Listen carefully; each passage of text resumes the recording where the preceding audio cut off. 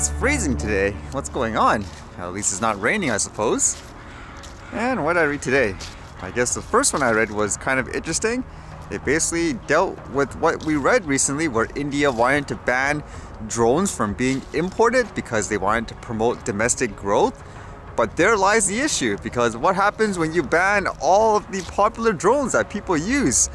You could say, oh, it'd be good for things like drone delivery and stuff like that, but this one's kind of interesting to think about. This one here says, filmmakers fret over drone import ban. While India's ban was aimed at boosting the local drone industry, Indian manufacturers currently don't make cinematography grade drones. Aerial cinematography used in the making of everything from Bollywood movies to elaborate wedding videos will be the biggest casualty of India's import ban on drones, industry insiders told DH. This is because almost all the drones currently used for these purposes in India are made by China's SZ-DJI technology. The Indian companies have done well to develop drones for defense purposes and made progress in developing drones for commercial uses in agriculture, mining, and delivery, but they are yet to make drones for aerial cinematography. That's a huge oversight, and it's kind of like what I always say here, where the regulations they make absolutely no sense for the mass majority of people just flying, say, a toy or just capturing things like videos and pictures. Whereas, like in this case, you can see a lot of people, I guess, on the higher upper chain would just think, oh, drone, you use it for like what, delivery, military purposes and all that. Whereas the mass majority of people nowadays just use it for things like this, taking videos and pictures. It makes me wonder, does that mean some people are gonna start trying to, I guess, smuggle in cinematography drones as if they're drugs and weapons now just to do basic stuff? And this was kind of interesting because as you guys know, there's all those protests and stuff going around Canada just due to things like mandates and the police, for example, in Ottawa have been really aggressive by this looks of it anyways. And that picture or video of the one with the police horse running into the lady, that's pretty much the famous one. But looking at this, I didn't know if it was real at first, where apparently it was a screenshot of police officers in a chat room and they were basically sharing like the video. Like you can see here says police horses trample peaceful protesters. There's a facebook video. And these are apparently police officers i guess mocking it laughing. It says here like wow. Another person says that's awesome. We only think we're living the dream. That's what we need to do now, from what I gather, apparently a police officer leaked this out because obviously, I guess the person was disgusted over it, and I didn't know, like, is this real? But you can see here, I guess, the RCMP released a statement. Here it says, the RCMP is aware of the material circulating on social media pertaining to a chat group that includes some of its members. We can confirm that we are looking into the matter the material is not representative of those who have committed themselves to serving Canadians with integrity and professionalism. All members of the RCMP know that, whether on or off duty, they have a responsibility to hold themselves to the highest professional standards and are subject to the code of conduct of the RCMP at all times. So that kind of confirms whether or not I guess it's real or not. I would assume it's kind of real. They have to release like a press release and stuff like that of this yeah, that's kind of crazy though, overall.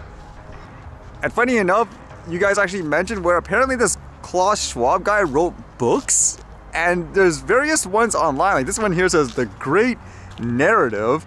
I guess it's his philosophy on how to like run the world and so forth, which you could say anyone in that parliament that's with that WEF would kind of follow the same philosophy.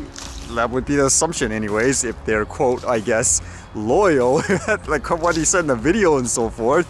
But you can see like the reviews and stuff, it's kind of interesting. Like this one here says, the author is actively influencing young leaders, including existing leaders, with academic and non-practice ideology, using the COVID pandemic as an opportunity. Ultimately, he is aiming for a singular global government that controls the masses, just like the Aryan superior nation in Germany. Unfortunately, given his borrowing of the environmental agenda, it will not work. Yet he has captivated so many leaders, including our own Prime Minister Trudeau and his cabinet. He acknowledges this.